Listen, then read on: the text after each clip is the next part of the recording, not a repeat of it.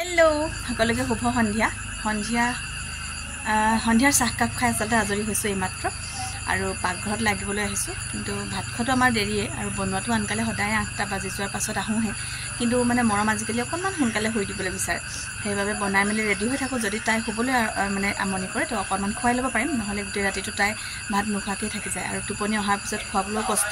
মানে টোপনি ৰখা মুখত খাবলৈ মনেই নকৰে তেনেকুৱা। তো সন্ধিয়া কি বনাম ভাবি আছোঁ তাকে পাকঘৰলৈ আহিছোঁ ইটো সিটো চাইছোঁ। আজি ঘৰৰে কিবা কিবি শাক মায়ে ছিঙি থৈছিলে। এইবিলাক চাওকচোন। কি কয় নাজানো মাটি কাদুৰি নহয় বাৰু। ইয়াতে আছে কলমৌ শাক আৰু কুকুৰা ঠেঙীয়া নে কি এনেকৈ বুলি কয়। আমাৰ ঘৰ আগতে আছে।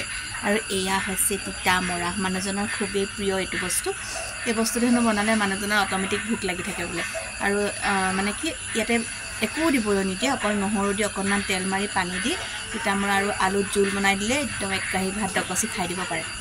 কিন্তু মই আজি এইবিলাক নবনাওঁ। আৰু মই কি জানো পাত শাকবিলাক খাই ইমান ভাল নাপাওঁ।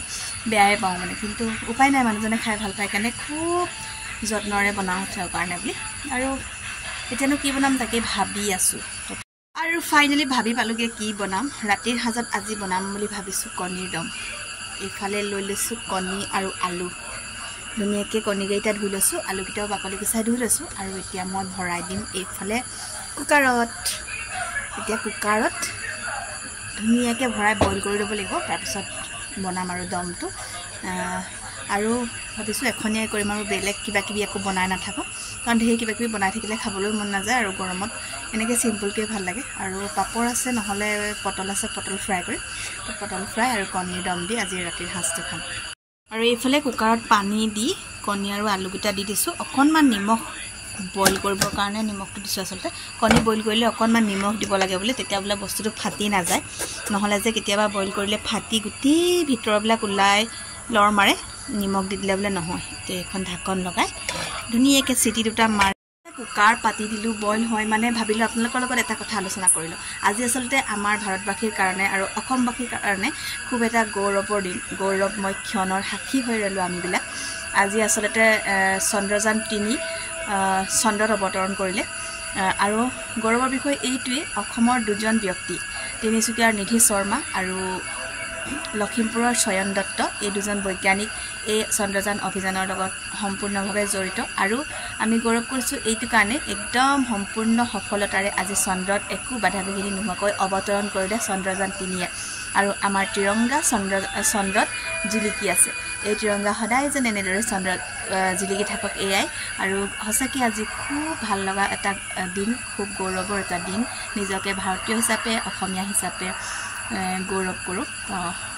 আজি স্কুলবিলাকতো একদম সম্পূৰ্ণ সন্ধিয়া ছয় বাজি চাৰি মিনিটত এই লাইভ টেলিকাষ্ট দেখাইছে। মানে সকলোবিলাক স্কুলত এইটো ব্যৱস্থা কৰি দিয়া হৈছে। ল'ৰা ছোৱালী শিক্ষক শিক্ষয়িত্ৰী ছাত্ৰ ছাত্ৰী সকলোৱে একেলগে আজি চন্দ্ৰযান তিনি চন্দ্ৰত অৱতৰণ কৰাৰ দৃশ্য প্ৰত্যক্ষ কৰিলে।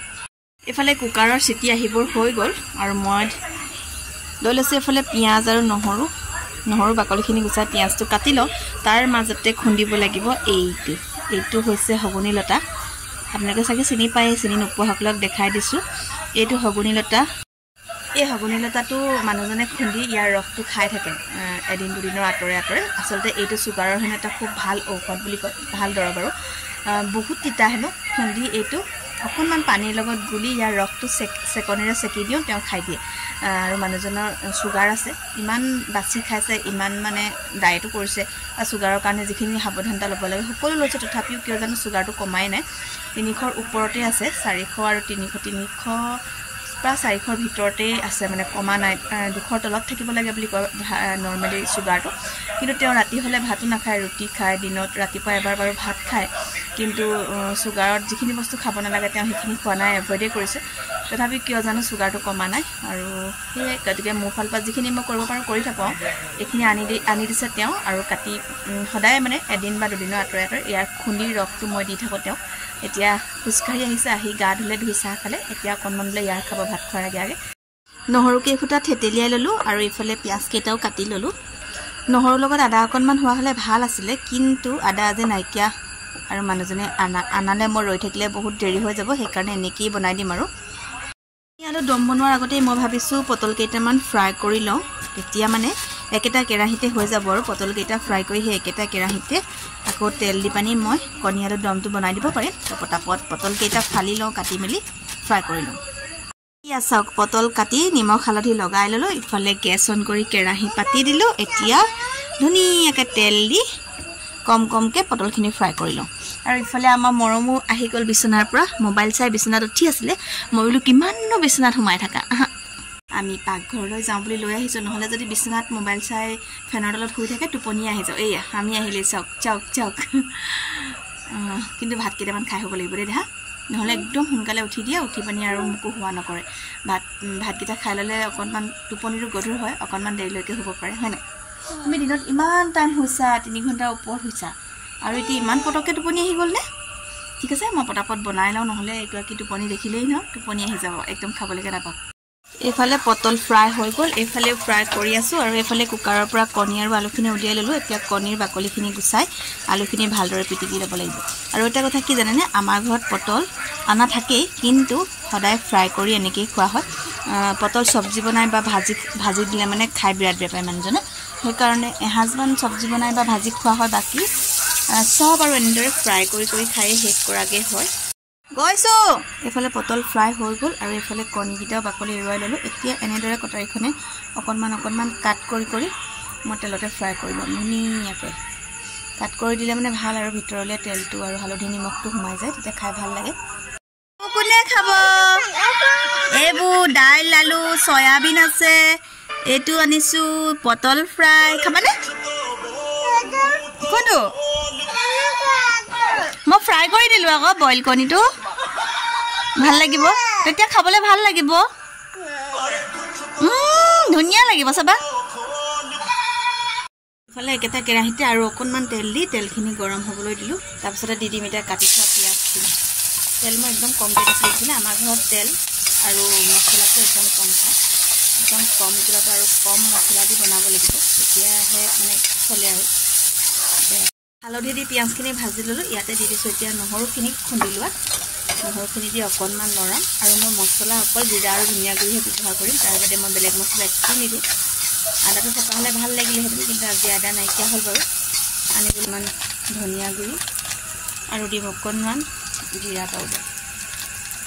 জিৰা পাউডাৰটো দিলে খাবলৈ ভাল লাগিব। আৰু অকণমান দি দিছোঁ লাল মিৰ্চ পাউডাৰ এইটো। বাৰু বেছি নিদিওঁ কমকৈ দিম কাৰণ একদম কম জ্বলা খাই মানুহজনে হৈ গ'ল এতিয়া ধুনীয়াকৈ মিক্স কৰি। হৈ থাকিলে মই গমেই নাপালোঁ। ইয়াতে মই পিটিকি লোৱা আলুখিনি দি দিলোঁ দেখিলে নহয় আলুখিনি দি আৰু দি দিলোঁ গৰম পানী। এতিয়া এইটো ভালদৰে উতলিবলৈ দিম উতল আহোঁতে কণীকেইটা দি দিম। এতিয়া এইটো ঢাকি ঢাকি পানী মই আটাখিনি মঠি লওঁ। ইফালে আটাখিনি মঠি লওঁ বুলি ভাবিছোঁ। এইটো বাটতে আলুখিনি পিটিকা কৰিছিলোঁ। আৰু সেইটোতে এতিয়া দি দিম আটা। অকল মানুহজনৰ কাৰণে মাত্ৰ চাৰিটা শুকান ৰুটি খায় মঠা থাকিলে থৈ দিম আৰু। এইকেইটা ভালদৰে মঠি লওঁগৈ ছোৱালীজনীৰ ওচৰলৈকে যাওঁ কাৰণ তাই হোৱা নাই চিঞৰি আছে মোক ইফালে চাওকচোন মৰমো ধুনীয়াকৈ শুই থাকিলে মই এইফালে আটাখিনিও মঠি ল'লোঁ ইফালে চব্জিও হ'বই হ'ল আৰু বন্ধ কৰিবলৈ আছে গেছৰ ওপৰতে বহাই থৈছোঁ। আৰু কি জানেনে মৰমক খোৱাবলৈ একেবাৰেই কষ্ট কৰিব নালাগে খালি তাই টোপনি অহাৰ সময়ত মই তাইৰ লগত থাকিলেই হয় আৰু। এতিয়া মই আটাখিনি তাইৰ ওচৰতে আনি মঠি থাকিলোঁ এইডোখৰতে বহি আটা মঠো মানে তাই ইফালে টোপনিয়ে গুচি গ'ল। এতিয়া তাই আঁঠুৱা চাঠুৱা লগাই দিলোঁ তাই এতিয়া শুই থাকক মই ৰুটিখিনি বনাই লওঁগৈ এইফালে আমাৰ আজি ৰাতিৰ চব্জিও ৰেডি হৈ গ'ল এইফালে ডিম চিম দি দিলোঁ আৰু ধুনীয়াকৈ। হৈ গ'ল গ্ৰেভিটোও ধুনীয়া হৈছে। এতিয়া চব্জিখিনি থৈ ৰুটিখিনি বনাই লওঁ। মানুহজনলৈ ফোন কৰিছোঁ আহিব এতিয়া। মানে ৰুটিকেইটা বনোৱাৰ আগত সদায় ফোন এটা কৰি লওঁ আহিব হৈছে নাই বুলি। এতিয়া তাৰমানে আহিলে গৰমে গৰমে খাব পাৰে আৰু। এতিয়া বনাওঁ মানে তেওঁ পাই যাবই একদম ধুনীয়াকৈ গৰমে গৰমে হৈ যাব।